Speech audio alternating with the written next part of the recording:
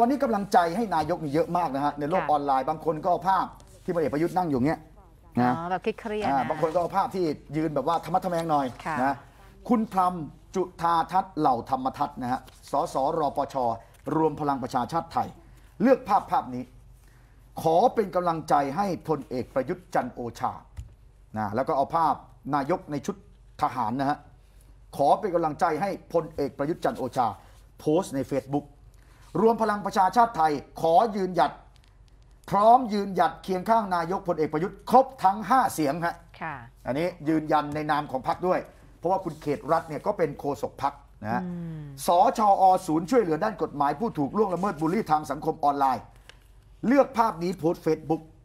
จุดยืนสชอขอสนับสนุนพลเอกประยุทธ์ต่อ แล้วก็โค้ดคำถ้าเป็นเรื่องชาติศาสตร์กษัตริย์ ผมไม่เคยถอดใจ ค่ะเห็นไหมอันนี้จากแฟนเพจสชอ แต่วันนี้คุณศรีสุวรรณมาแล้ว คุณศรีสุวรรณวันนี้ไปยื่นนะฮะไปยื่นกกตเพื่อที่จะให้กกตเนี่ยพิจารณาว่ามติให้ขับ 21 สสพ้นจากการเป็นสมาชิกพรรคเนี่ยชอบด้วยกฎหมายหรือไม่ค่ะนะถ้าวินิจฉัยไม่ได้ก็ส่งสารรัฐธรรมนูญ นี่คุณศรีสุวรรณบอกค่ะนะว่ากรณีเนี้ยที่ไปทำแบบเนี้ย มันเข้าเกณฑ์เข้าหลักเข้ากฎหมายให้ทำได้หรือเปล่า ให้ขับออกเนี่ยมันมีเหตุเพียงพอหรือเปล่าค่ะ วันนี้ก็ไปยื่นเรียบร้อยนะส่วนวันนี้ลุงป้อม วันนี้ลุงป้อม รองนายกรัฐมนตรี หัวหน้าพักพลังประชารัฐไปไหนฮะวันนี้ วันนี้ลุงป้อมเนี่ยลงพื้นที่ไปที่จังหวัดเชียงรายค่ะ ไปพร้อมคณะ ไปพร้อมพลเอกวิทย์ด้วยนะคะแล้วก็ไปพร้อมกับอาจารย์แหม่ม คุณนฤมลพินโยสินวัตรด้วย ไปช่วยพี่น้องชาวจังหวัดเชียงราย แก้ปัญหาเรื่องของน้ำแล้ง ติดตามการพัฒนาเวียงหนองลมพลตรีพัชศักดิ์ปฏิรูปานนท์นะคะผู้ช่วยโฆษกรองนายกรัฐมนตรีเปิดเผยว่าพลเอกประวิตยรองนายกรัฐมนตรี ในฐานะที่เป็นผู้อำนวยการกองอำนวยการน้ำแห่งชาติและคณะ วันนี้ลงพื้นที่ไปที่ภาคเหนือจังหวัดเชียงรายค่ะครับไปติดตามการแก้ปัญหาในพื้นที่ โดยเฉพาะการพัฒนาแหล่งน้ำธรรมชาติขนาดใหญ่ เวียงหนองลม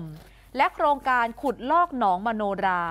มีการฟังบรรยายจากผู้ครับว่าราชการจังหวัดเชียงราย ก็มีการนำเสนอให้กับลุงป้อมเนี่ยได้รับทราบ ภาพรวมก็คือมีชาวบ้านไปคอยต้อนรับ แล้วก็ขอบคุณรัฐบาลที่คอยช่วยเหลือมาโดยตลอดขค่ะอมีอาจารย์แหม่มไปด้วยเหรอฮะใช่ คุณนฤมลพินโยสินวัฒน์นะฮะเฮค่ะรัญยิกพักพลังประชารัฐอ้าวยังอยู่ที่พักพลังประชารัฐนะยังอยู่ค่ะไม่ได้ไปกับร้อยเอกธรรมนัฐนะฮะค่ะแล้วก็มีสสอีกกว่า 20 คนเอ่อกลุ่มเอ่อไม่ได้ไปกับพลเอกประวิตยแต่หมายถึงว่ากลุ่มร้อยเอกธรรมนัฐกับสสที่ไปลงพื้นที่เนี่ยนะก่อนหน้านี้มีกระแสข่าวว่า พลเอกวิทย์เนี่ยจะไปเป็นหัวหน้าพักให้ ใช่ ก็สงสัยว่าพลเอกวิทย์แล้วลาออกจากพรรคพลังประชารัฐหรือยังแต่วันนี้ไปกับลุงป้อมนะก็ยังอยู่เรื่องยังเนี้อยู่ยังอยู่อ่าส่วนอีกอีกกลุ่มหนึ่งที่เป็นกลุ่มการเมืองค่ะ อ่าแล้วก็มีประเด็นที่ถูกตรวจสอบว่าเฮ้ยคดีเดิม ที่ปีเรื่องมีราวอยู่เดิมมันไปถึงไหนหรือยังนะคงจำกันได้กรณีที่ดินของตระกูลจึงรุ่งเรืองกิจ ค่ะที่มีที่ดินของคุณสมพร คุณชนาพันธ์ คุณธนาธร ค่ะ ที่มีประเด็นที่ราชบุรีไงค่ะแล้วก็ตรวจสอบกันมาเป็นปีอะความคืบหน้าไปถึงไหน เรื่องเพิกถอนเอกสารสิทธิ์ เรื่องของคดีอาญา จุดนี้หลังจากที่ไปตรวจสอบ มันไปอยู่ตรงที่ว่าทางป่าไม้เนี่ยได้ทำหนังสือไปถึงทางกรมที่ดิน ให้พิจารณาเพิกถอนเอกสารสิทธิ์ทำหนังสือไปตั้งแต่ปีที่แล้วเดือนมกราคม ค่ะ แต่ยังไม่มีความคืบหน้ายังไม่มีการเพิกถอน แล้วเรื่องมันไปถึงไหน รัฐมนตรีช่วยว่าการกระทรวงมหาดไทยฮะคุณนิพนธ์บุญญามณี นี่คือสภาพที่ดินมุมสูงนะฮะค่ะที่ท่านผู้ชมเห็นอยู่เนี่ยแล้วก็ที่ดินผืนกว้างๆนี่แหละ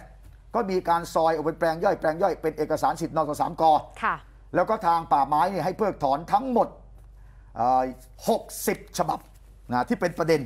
แล้วทางกรมที่ดินเนี่ยยังไม่ได้เพิกถอนค่ะวันนี้คุณนิพนธ์บุญยามณีเนี่ยได้มีการเปิดเผยครับว่า ในฐานะรัฐมนตรี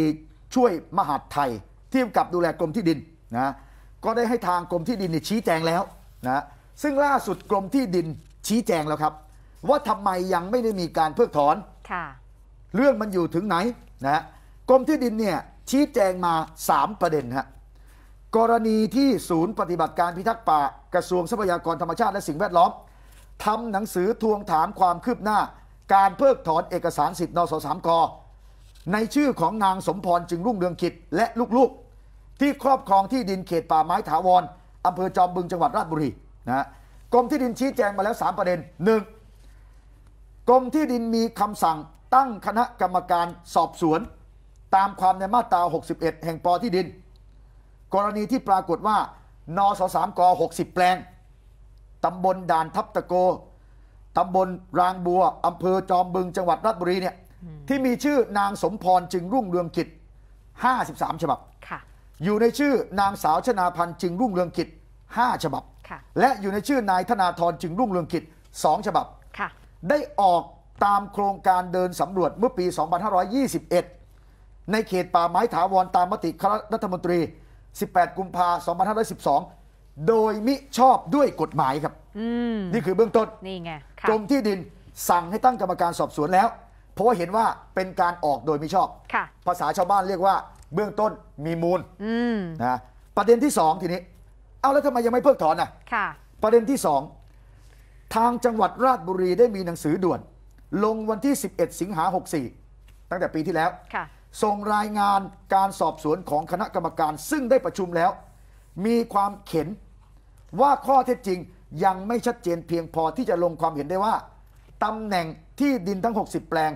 อยู่ในเขตป่าไม้ถาวร ป่าฝั่งซ้ายแม่น้ำพาชี ขอให้หน่วยงานที่เกี่ยวข้อง คือกรมที่ดิน กรมป่าไม้ กรมพัฒนาที่ดิน ร่วมกันตรวจสอบข้อเท็จจริงเพิ่มเติมค่ะนะอันนี้ประเด็นที่สองค่ะที่ยังไม่ได้ชี้ และหลังจากนั้นก็ได้มีการมอบหมายให้ดำเนินการเพิ่มเติม โดยจะต้องทำยังไง จะต้องไปดำเนินการ